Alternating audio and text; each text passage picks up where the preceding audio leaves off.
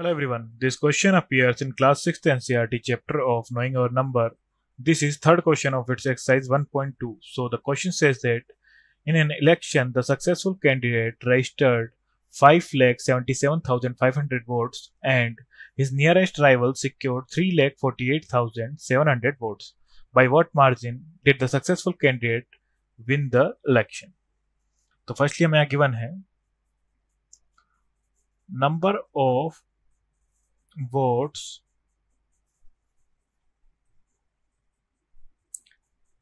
secured by the successful candidate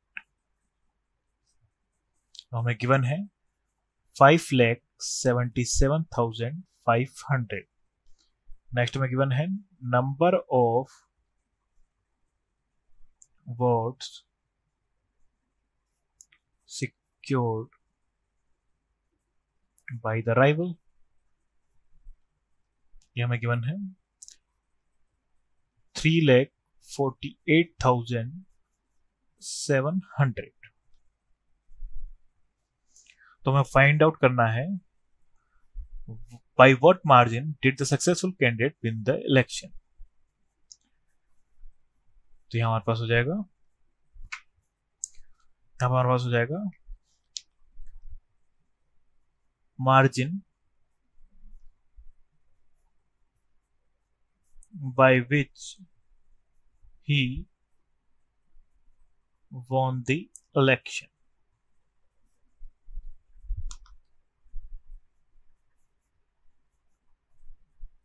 तो जाएगा हमारे पास five lakh seventy seven thousand five hundred minus three lakh forty eight thousand seven hundred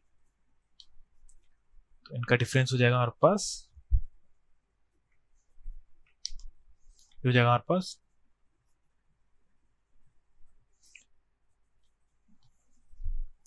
two lakh twenty eight thousand eight hundred votes. So, the successful candidate won the election by 2,28,800 votes. That's our final answer. Thank you.